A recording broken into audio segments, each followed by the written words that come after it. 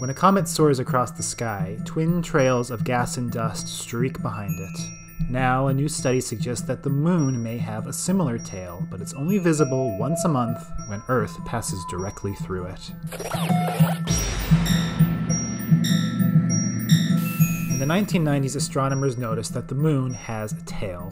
It isn't visible to the naked eye, but using a special telescope, they were able to see the faint orange glow of sodium streaking off of the moon.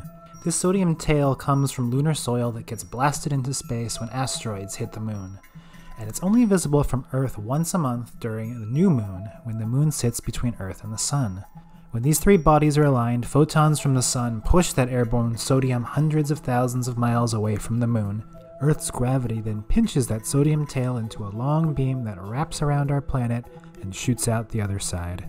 That beam is about 50 times too dim for humans to see with the naked eye, but when astronomers look at it with the right telescopes, they see a fuzzy orange spot about 5 times wider than the full moon. After a few days, it vanishes. That fuzzy sodium spot always appears at the same time each month, but strangely, its brightness is constantly changing. In a new study published this month in the journal JGR Planets, astronomers tried to figure out why. After looking at 14 years worth of lunar photos, they figured out that the spot tends to appear brighter when more random meteors are sighted over Earth. What's the connection? More meteors over Earth means more asteroids slamming into the surface of the moon, which doesn't have an atmosphere to protect it like our planet does. According to the researchers, these random meteors tend to be larger, faster, and more powerful than the broken up rocks that are parts of the annual meteor showers that we see, like the uh, Leonids in November.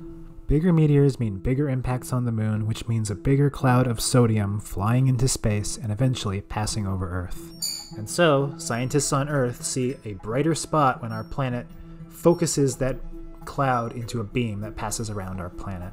The moon's tail and the beam it creates are both harmless to our planet, which has a strong atmosphere to protect it from those pesky particles. So the next time a new moon rises, take a minute to thank our friend in the sky for sprinkling us with a little cosmic pixie dust.